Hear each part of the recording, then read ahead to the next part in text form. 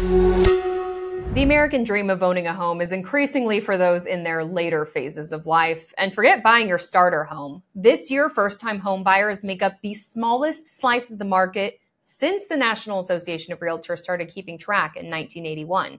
First time buyers between July 2023 and June 2024 dropped to 24% of the market from 32% just a year ago.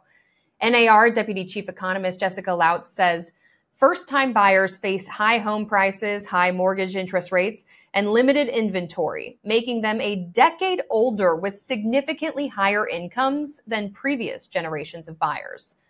The average age of first time buyers rose to 38 from 35 last year. Meanwhile, the average age of repeat buyers hit 61 from 58 years old. Put all the buyers in the same pile, the average home buying age this past year is 56 years old, up from 49 years old just one year ago. The median household income for those first timers is 97 grand, an increase of $26,000 in the past two years.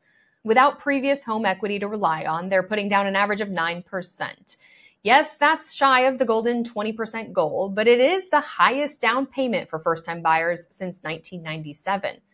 69% of first time buyers relied on savings for down payments. 25% got loans from friends and family. 21% cashed out financial assets. And an all time high of 7% used inheritance money to close the deal. Now, repeat buyers have more to play with. Lautz says current homeowners can more easily make housing trades using built up housing equity for cash purchases or large down payments on dream homes. Repeat buyers' median income is up to $114,300, and down payments reached 23%, the highest since 2003. Who puts down more than 20%? Well, a record 26% of all buyers paid cash for their castle. Those castles are increasingly including multiple generations.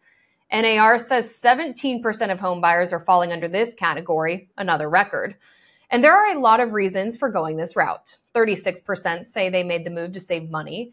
25% are entering the multi generational fray to take care of aging parents. 21% have children over the age of 18 moving back in, while 20% have kids over 18 who never left.